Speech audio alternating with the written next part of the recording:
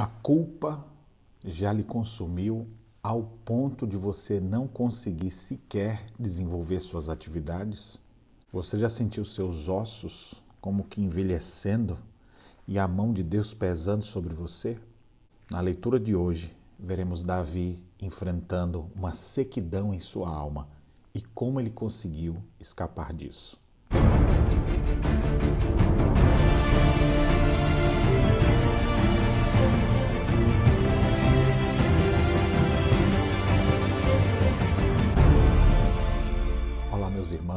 Que a graça e a paz de Jesus estejam com todos vocês. Nossa leitura hoje no livro dos Salmos vai do Salmo 29 ao 33. Nestes cinco salmos, aprenderemos a valorizar a voz de Deus acima de todas as outras vozes. Também aprenderemos a confiar no Deus que nos socorre e nos protege. Somente no Senhor poderemos encontrar alívio para o peso de nossa alma e desfrutarmos da certeza de que somos filhos de Deus. No Salmo de número 29, Davi reconhece que só Deus é digno de louvor e glória e diz: Tributai ao Senhor, filhos de Deus, tributai ao Senhor glória e força, tributai ao Senhor glória devida ao seu nome. E no decorrer do salmo ele diz a voz do Senhor sete vezes, referindo-se ao poder da palavra de Deus.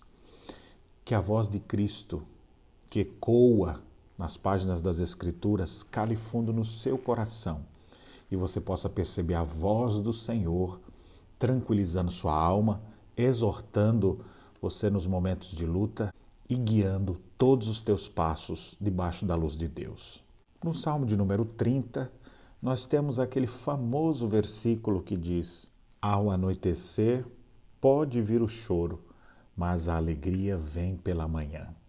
Cristo se coloca ao nosso lado nas noites mais sombrias e ele promete nos ajudar a enfrentar essas adversidades. Sua noite vai ter fim.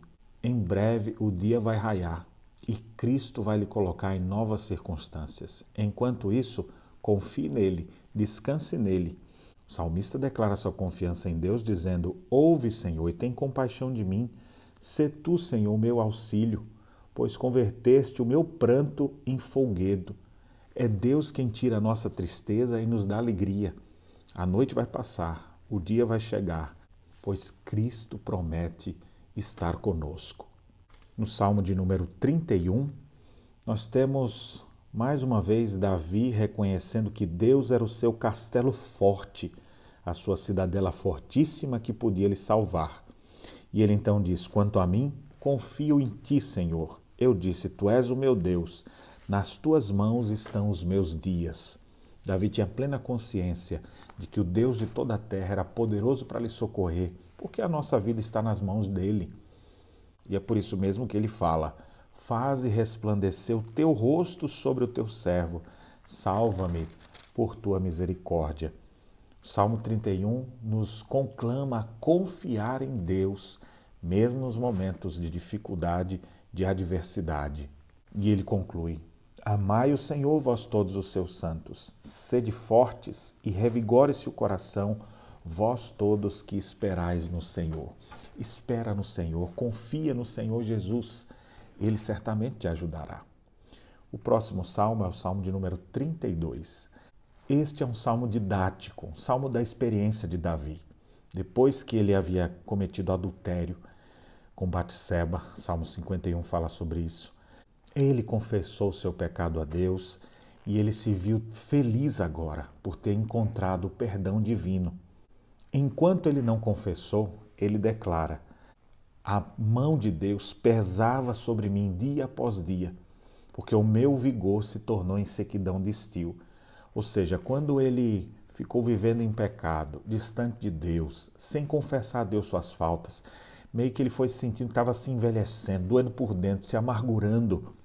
E como é que alguém pode se livrar da culpa? Quem sabe você está aí pensando, como eu vou me livrar da culpa pelos erros que eu pratiquei?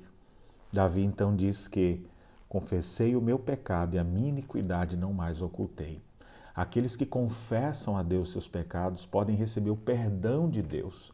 Por isso que o início do salmo diz Bem-aventurado, mais que feliz é aquele cuja iniquidade é perdoada, Quando você tem o seu pecado perdoado, aquele peso vai embora.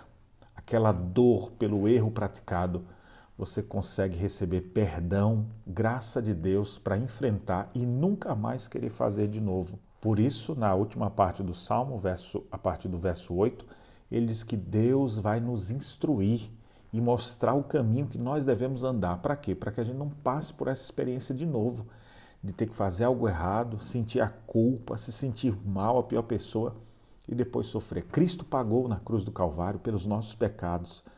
Basta confessarmos a Ele. Na cruz ele disse: Pai, perdoa, eles não sabem o que fazem. Cristo é aquele que pode trazer perdão e pureza para a sua consciência, para que você possa deitar e descansar na certeza de que sua dívida foi paga diante de Deus e dos homens. Finalmente, o Salmo 33 é um salmo de exultação, de alegria no Senhor. Ele diz: Exultai, ó justos, no Senhor, aos retos fica bem louvá-lo. Entoai-lhe novo cântico, tangei com arte e com júbilo. Observe que o louvor a Deus não é feito de qualquer maneira. Tem que ter arte, tem que ter alegria e deve ser feito da melhor maneira possível, pois é o próprio Deus quem está sendo louvado e honrado. Ele é digno disso. Deus ama a justiça, o direito. A terra está cheia da bondade do Senhor, diz o salmista. Então ele se alegra em Deus ele festeja pelo fato de Deus exercer misericórdia e graça para com ele. Ainda nesse salmo, ele declara: Feliz é a nação cujo Deus é o Senhor e o povo que ele escolheu para a sua herança. Tem coisa melhor do que você viver ao lado desse Deus? Por isso que ele estava tão feliz. Ele diz: O cavalo não garante vitória, apesar de sua grande força, mas Deus garante. Em Cristo nós somos mais do que vencedores. Ainda nesse salmo, ele diz: nossa alma espera pelo Senhor, nosso auxílio e nosso escudo. Nele o nosso coração se alegra, pois confiamos no seu santo nome. Você precisa confiar em Jesus. Você precisa entregar sua vida ao Senhor. E você vai desfrutar de muita alegria e júbilo por poder pertencer ao povo mais feliz da face da terra, o povo que teme ao Senhor. Feliz é a nação cujo Deus é o Senhor que os teus passos possam ser dados às vistas de Deus.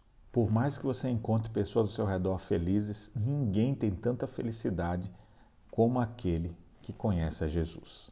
Que Deus abençoe sua vida e que as leituras dos Salmos hoje possam revigorar a tua confiança em Deus.